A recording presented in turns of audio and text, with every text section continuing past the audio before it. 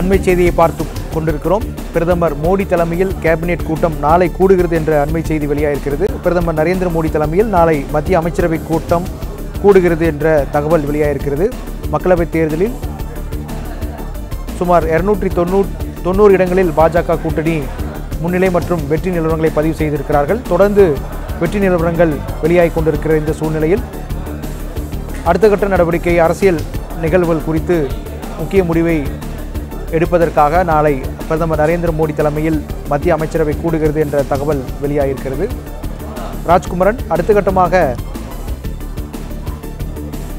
இந்த நாளை நடைபெறக்கூடிய பிரதமர் தலைமையிலான அமைச்சரவை கூட்டத்தில் எது மாதிரியான முடிவுகள் எடுக்க வாய்ப்பிருக்கிறது?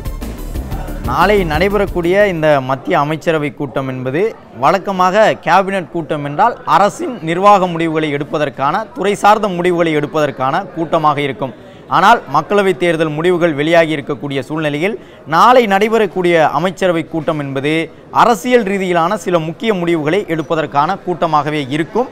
அதற்கு ஏற்ப நாளைய தினம் கூட்டணி கட்சியினுடைய தலைவர்களை டெல்லி வருமாறு பாஜக சார்பில் அழைப்பு விடுக்கப்பட்டிருக்கின்றது. இந்த நிலையில்தான் பிரதமர் மோடி தலைமையில் நாளை மத்திய அமைச்சரவை கூடும் பொழுது ஆட்சியை தக்க வைப்பதற்காக மேற்கொள்ள வேண்டிய பணிகள் தொடர்பாக ஒரு நீண்ட ஆலோசனை இடம்பெறும் என்று எதிர்பார்க்கப்படுகின்றது. அதேபோன்று கூட்டணியில் இந்த முறை கடந்த காலங்களில் இருந்தது போலல்லாமல் ஒற்றை நபராக தனிப்பெரும்பான்மையோடு பாரதிய ஜனதா கட்சி ஆட்சியில் அமர்ந்துவிட முடியாது என்ற சூழ்நிலை தான் தற்போது அளவில் இந்த முன்னிலை நிலவரங்கள் மூலம் தெரிந்து கொள்ள முடிகின்றது. குறைந்தபட்சம் நிதிஷ்குமாரை சமரசம் செய்தாக வேண்டும். அதேபோன்று சந்திரபாபு நாயுடுவை சமரசம் செய்தாக வேண்டும். இந்த இரண்டு அரசியல் தலைவர்களை அரசியல் கட்சிகளை சமரசம் செய்தால் மட்டும்தான் ஐந்து ஆண்டுகளுக்கு ஒரு நிலையான ஆட்சியை பாஜகவால் தர முடியும். எனவே நாளை நடைபெறக்கூடிய இந்த கேபினட் கூட்டத்தின் மூலமாக இரண்டு சவால்கள் பாஜகவிற்கு இருக்கின்றன. ஒன்று கூட்டணி கட்சிகளை கூட்டணியில் இணைத்து கொண்டு கூட்டணி அரசை தான் நடத்த முடியும் என்ற சூழ்நிலை வரும் பொழுது நிதிஷ்குமார் அவர்களுடைய ஐக்கிய ஜனதா தளம் கட்சிக்கும் சந்திரபாபு நாயுடுவினுடைய அந்த தெலுங்கு தேசம் கட்சிக்கும் கணிசமான மந்திரி சபையில் இடங்களை ஒதுக்க வேண்டும் அமைச்சரவையில் வாய்ப்பு வழங்க வேண்டும் என்கின்ற ஒரு சவால் இருக்கின்றது. இரண்டாவது இவர்களை சமரசம் செய்தால் மட்டும்தான் பாஜக தன்னுடைய ஆட்சியை தொடர முடியும் என்கின்ற சவாலும் இருக்கின்றது.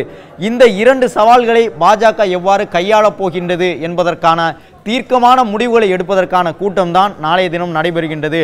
அதிலும் குறிப்பாக வட இந்தியாவில் போட்டியிட்டிருந்த வேட்பாளர்களுக்கும் அழைப்பு விடுக்கப்பட்டிருப்பதாக கூறப்படுகின்றது. வெற்றியாளர்களுக்கு அவர்கள் ஒரு சில இடங்களில் அந்த வெற்றியை தவறவிட்டிருந்தது குறித்தும் ஒரு நீண்ட ஆலோசனை இடம்பெற உள்ளது. குறிப்பாக உத்தரப்பிரதேச மக்களவை தொகுதியை பெரும்பாலும் எதிர்பார்த்தார்கள். ஆனால் அந்த அயோத்தி கோயில் இடம்பெற்றிருக்கக்கூடிய பைசாபாத் உள்ளிட்ட இடங்கள் கூட பாஜகவிற்கு ஆதரவான முடிவினை வழங்கவில்லை. இது பாஜகவிற்கு ஒரு மிகப்பெரிய ஒரு பாதிப்பை ஏற்படுத்தி இருக்கின்றது சரிவை தந்திருக்கின்றது உத்தரப்பிரதேச மாநிலத்தில். என்ன காரணத்தால் உத்தரப்பிரதேசத்தில் பாஜக இலக்கு வைத்திருந்த மாநிலங்களில் இந்த மத்திய பிரதேசம் உத்தரப்பிரதேசம் ஹரியானா பஞ்சாப் போன்ற மாநிலங்களில் எதிர்பார்த்த வெற்றியை தர இல்லை என்பது தொடர்பாகவும் நாளைய தினம் பிரதமர் தலைமையில் உள்துறை அமைச்சர் அமித்ஷா ஜே பி நட்டா உள்ளிட்டவர்கள் ஆலோசனையில் ஈடுபட இருக்கின்றார்கள். குறிப்பாக அடுத்த நூறு நாட்களுக்கு மேற்கொள்ள வேண்டிய பணிகள் என்று நேற்று முன்தினம் நடைபெற்ற கூட்டத்திலேயே பாஜக சில முடிவுகளை எடுத்திருந்தது. அந்த அடிப்படையில் ஆட்சியை கைப்பற்றக்கூடிய பட்சத்தில் அடுத்த நூறு நாட்களுக்குள் மத்தியில் பாஜக என்னவெல்லாம் செய்ய போகின்றது என்பதை தீர்மானிக்கக்கூடிய வகையில் இந்த கேபினட் கூட்டத்திற்கு முக்கிய அமைச்சரவை கூட்டத்திற்கு பாரதிய ஜனதா கட்சி அழைப்பு விடுத்திருக்கின்றது.